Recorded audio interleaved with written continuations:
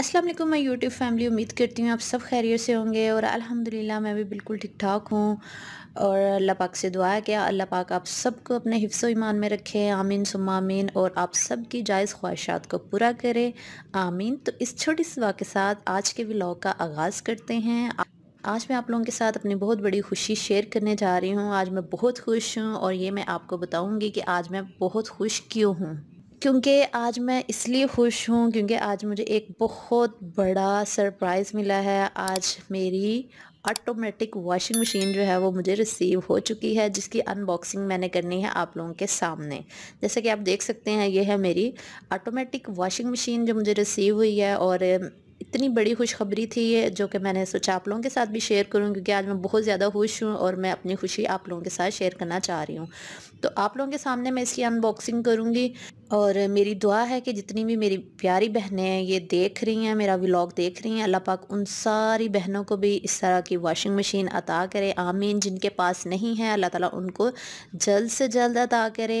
मेरी सारी बहनों के लिए दुआ है, क्योंकि ये आपको तो पता ही है, जो ऑटोमेटिक वॉशिंग मशीन है, इसमें कपड़े धोना कितना आसान हो गया है। जो सिंपल वॉशिंग मशीन होती हैं, आपको बताइए उसमें कपड़े धोना कितना मुश्किल होता है, ख़ास तौर पर सर्दियों में कपड़े सुखाने, धोने, खंगालने, बहुत मुश्किल काम हो जाता है। तो मेरी बहुत देर से ये ख्वाहिश थी कि अल्लाह ताला मुझे ऑटोमेटिक वॉशिंग मशीन दें। तो आज अल्लाह ताला ने मेरी ये ख्वाहिश पूरी कर दी है, जिसकी वजह से मैं बहुत खुश हूँ और आप लोगों के साथ ये खुशी शेयर करने जा रही हूँ। क्योंकि मेरी काफ़ी अरसे से ये ख्वाहिश थी कि मैं ये वॉशिंग मशीन लूँ, क्योंकि हाथ से कपड़े धोना बहुत मुश्किल होता है और इसके अलावा जो सिंपल वॉशिंग मशीन होती हैं, उनमें भी कपड़े धोना बहुत मुश्किल हो जाता है। सारा दिन लग जाता है कपड़े धोने में और ख़ास तौर पर सर्दियों में तो ठंड भी बहुत ज़्यादा होती है और दूसरा कपड़े खंगालना इतना मुश्किल काम होता है मेरे लिए। और मेरी बेटी भी मुझे बहुत ज़्यादा तंग करती है। जब मैं कपड़े धोती हूँ तो वो वो भी साथ खेलना शुरू हो जाती है। कहती है, वो बाज ही नहीं आती, वो कहती है, मैं भी साथ धोऊँगी कपड़े। तो वो सारी गीली हो जाती थी। बहुत ज़्यादा मुझे मुश्किल हो रही थी काफ़ी अर्से से। तो अल्लाह पाक से मैंने बहुत सारी दुआएँ की हैं, जो अल्लाह पाक ने आज मेरी दुआएँ सुन ली हैं और मुझे ये वाशिंग मशीन अता कर दी है। तो ये मैंने ली है 7.5 केजी की, जो सबसे स्मॉल साइज़ है। कोई नहीं, इंशाल्लाह फ्यूचर में अल्लाह पाक बड़ी वॉशिंग मशीन भी देंगे इंशाल्लाह। ये seven point seven point five K G की वॉशिंग मशीन है ऑटोमेटिक वॉशिंग मशीन है और इससे जो बड़ी होती है वो 8.5 की भी होती है और 9 की, नाइन के जी की भी होती है। जिनके पास हैं, उनको तो पता ही होगा।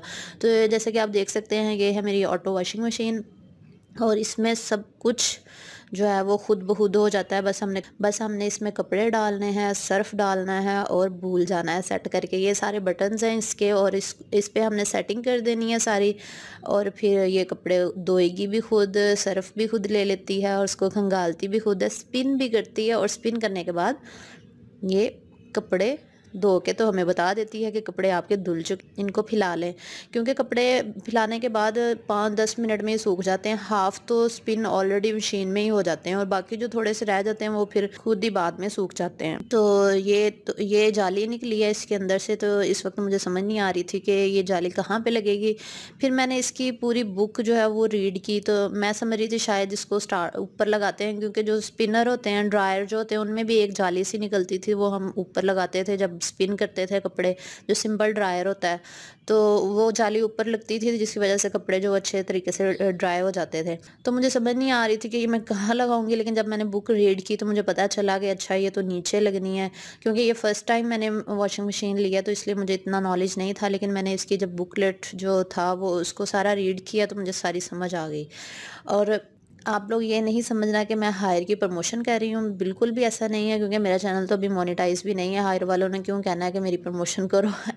मैंने तो वैसे ही हायर की ले ली है, क्योंकि मैंने सुना है काफ़ी लोगों से कि हायर की वॉशिंग मशीन जो है वो अच्छी होती हैं। मेरी भाभी ने भी ली हैं, वो उनका एक्सपीरियंस बहुत अच्छा है सिस्टर ने भी लिया उनका एक्सपीरियंस भी बहुत अच्छा रहा तो मैंने सोचा मैं भी यही ले लेती हूँ, क्योंकि इतनी ज़्यादा तारीफ़ें सुनी हैं हायर की तो मैंने भी हायर की ही ले ली। तो अब मैं ट्राई करूँगी चक्कर एक निकालूँगी फिर पता चलेगा किस तरह ये वॉश करती है।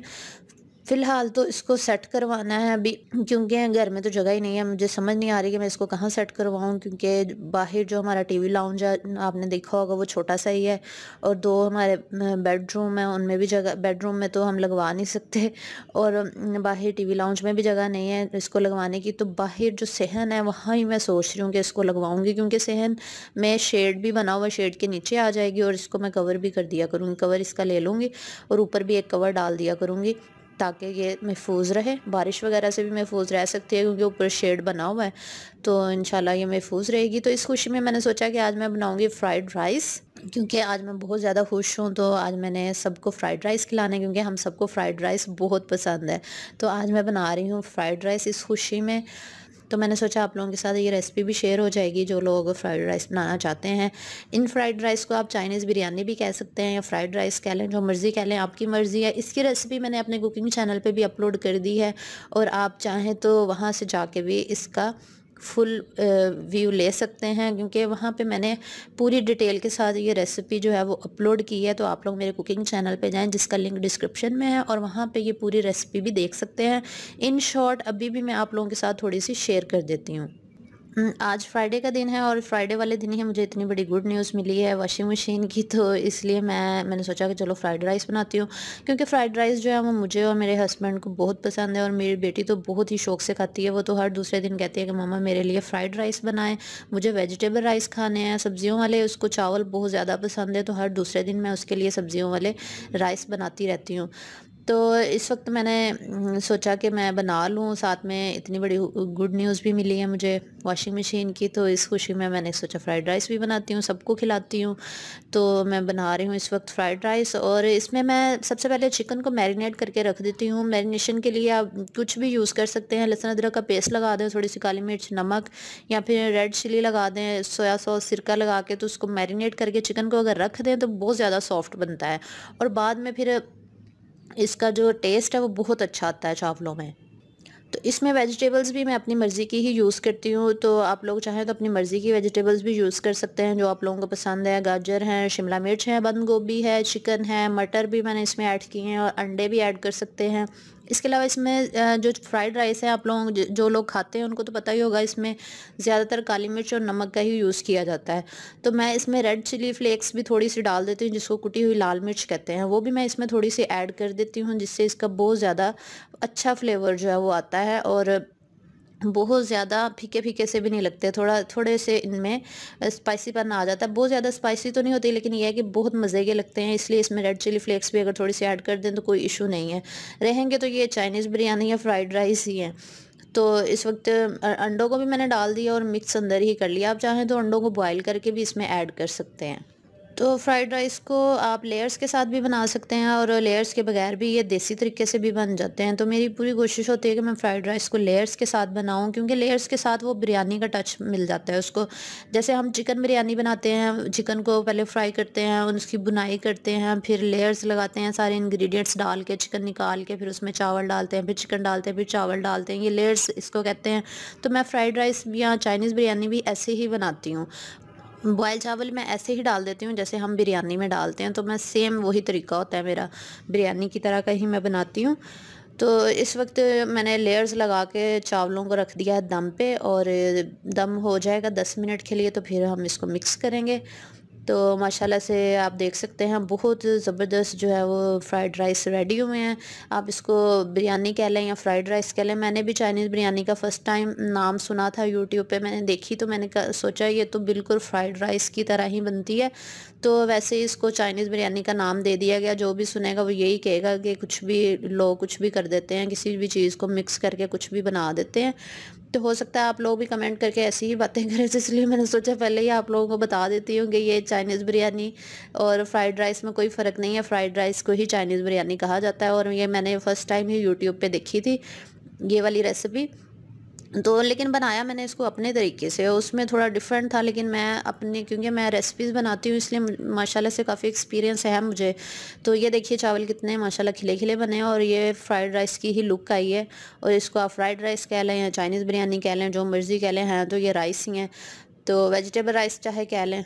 तो ये माशाल्लाह से बहुत मज़े के, बहुत टेस्टी बने हैं और हम सबने मिल के काफ़ी इंजॉय किया था और बहुत मज़ा आया था। अब फिटिंग की बारी रह गई, अब मैं वाशिंग मशीन को फिटिंग फ़िट करवाऊँगी।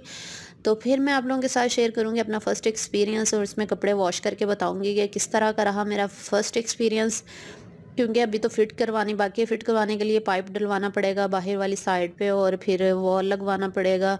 क्योंकि वॉल लगवाना भी ज़रूरी होता है। इससे मशीन जो है वो सही काम करती है, कभी पानी ना आ रहा हो या कोई मसला हो तो फिर वॉल से ठीक रहता है। तो इसलिए डायरेक्ट लगवाने के बजाय वॉल लगवाना ज़रूरी होता है। ये तो था मेरा छोटा सा व्लॉग, उम्मीद है आपको पसंद आया होगा। अगर व्लॉग अच्छा लगा है तो वीडियो को लाइक ज़रूर कीजिएगा और अगर आप मेरे चैनल पर न्यू हैं तो रेड बटन पर क्लिक करके सब्सक्राइब ज़रूर कीजिएगा और बेल आइकन भी प्रेस कीजिएगा और मैं आप लोगों के लिए इंशाल्लाह मज़े मज़े के व्लॉग लाती रहूँगी और बहुत सारी दुआओं के साथ मैं व्लॉग का एंड करती हूँ। अल्लाह ताला आप सब की मुश्किल को दूर करे, अल्लाह पाक आप सब की जायज़ ख्वाहिशात को पूरा करे। आमीन सुमामीन इन छोटी सी दुआओं के साथ आज के व्लॉग को ख़त्म करते हैं। फिर मिलूँगी इंशाल्लाह एक नए व्लॉग के साथ। अपना बहुत सा ख्याल रखिएगा और मुझे दुआ में याद रखिएगा। अल्लाह हाफिज़।